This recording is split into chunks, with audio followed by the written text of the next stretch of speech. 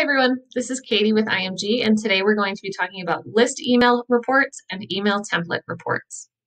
So in your navigation bar under Pardot Reports, on the left-hand side you have emails and then you'll have list emails and templates. I'm going to start with templates today.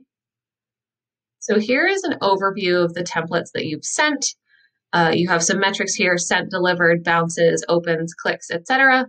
If you wanted to view all of your template reports as one, you would go to Tools and hit CSV Export, and you can view all of the statistics for all of your templates at once.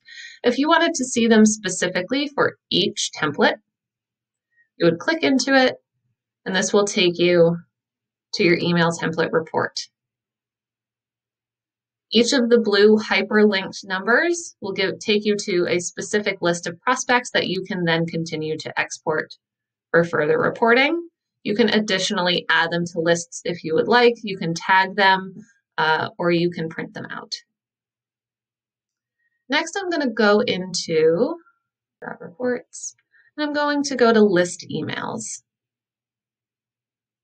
So these are all of your list email statistics that you can see. If you would like to export them all as one big table, you could do that again over in Tools. Export all items to CSV. You could also make a custom table if you would like. To view the statistics for each individual email, you're going to click into each of them. And this is going to show you your reports for each individual one.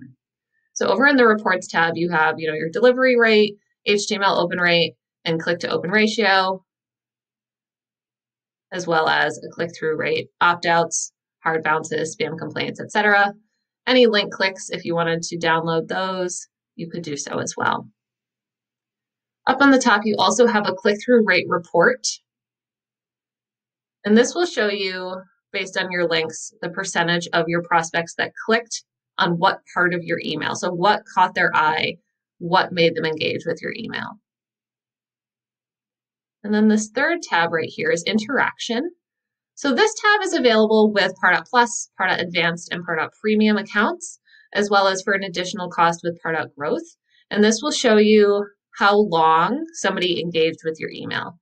So you have glanced or unread, which is if an email is open for less than two seconds.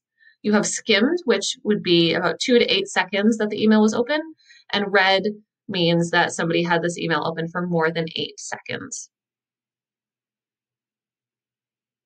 If you have any questions around email reporting, please feel free to contact IMG.